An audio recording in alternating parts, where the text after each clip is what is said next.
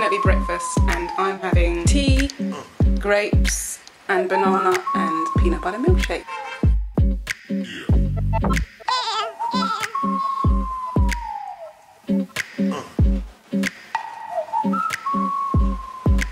Max. Do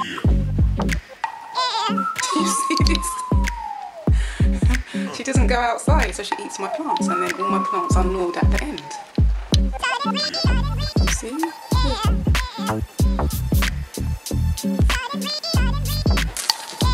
Swear to God, I'm gonna put her out. I'm gonna rent her home. I'm not.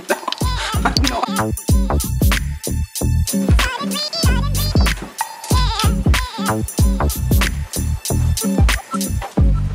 Great peeps, it's Living Fruits on YouTube and it's Thursday and this is the food tag vlog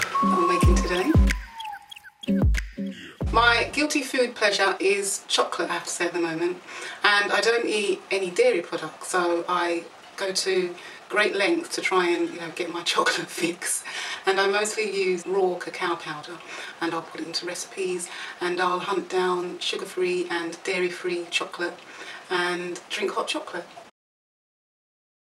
The food I can't live without is avocados. You can also put chocolate in avocados and add agave in to pudding. but the food I can't live without is absolutely 100% avocado. You know, the world over, I have to find avocados wherever I'm travelling to, wherever I'm at home.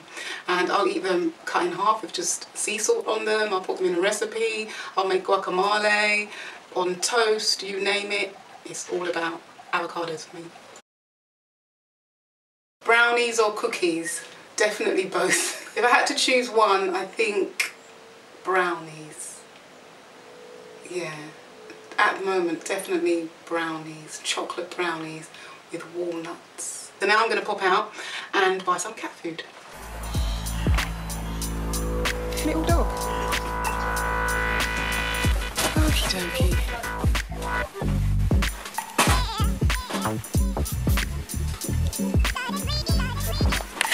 Chicken and rice. They like that one. And it's reduced to seven ninety nine. Because they're Guyanese cats, I know they like the chicken and the.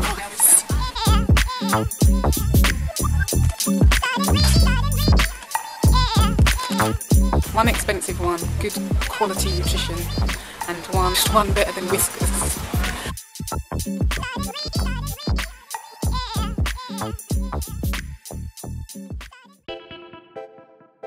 Favourite restaurant is in King's Cross in London and it's called Caravan and they do the most delicious food, really really good food. Um, it's not all vegan, it's like all different stuff. It's kind of like a tasting menu and they also do pizza but they're really good at accommodating if you don't eat any animal product, products and the food is just delicious. My worst restaurant experience recently actually I was invited on this girls night out and it was a Middle Eastern restaurant it wasn't Moroccan because their moussaka was not the moussaka that is most commonly known. It was in Maida Vale. And I ordered the moussaka. And it was courgette with a few cubes of aubergine like this sort of watery liquidy stuff. And they just served up this dish with um, vegetables in it. And it didn't even have any good spices any good flavour it was just it was just poor and it was 11 pounds. I just sent it back. And I don't know oh you're gonna have to pay for it. You know if some of the friends around the table had not met me for the first time trust me I wouldn't have paid for that. I would not have paid that 11 pounds because it was just it was just a rip-off basically.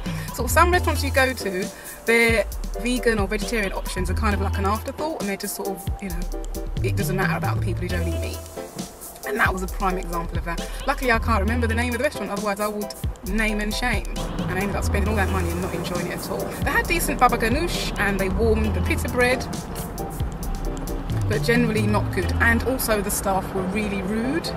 I walked in, this was not meant to turn into a rant, but it was so horrible. I walked in and I was the first one of the party to arrive. And they were looking at me like, the woman was looking at me like, can I help you? You know what I mean? Like, yeah, McDonald's is down the road, love.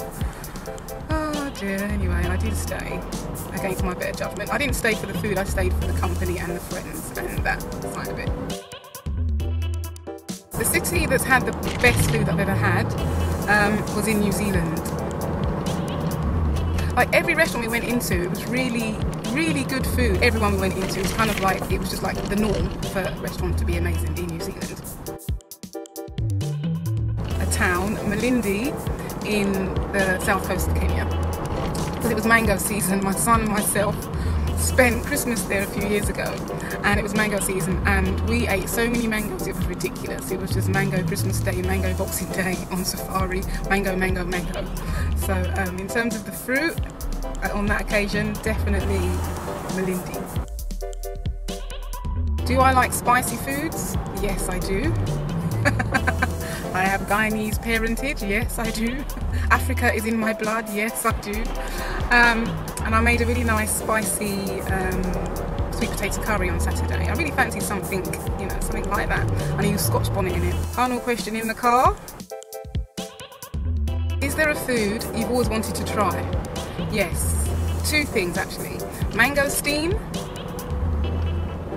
and they do sell them here in London, even though they're expensive. So I should just try them and get over myself next time I see them. I shall do that and I shall film it. And also, I'm not sure of the pronunciation. I think it's Napoles, but it's cactus. And I would like to try the cactus vegetable.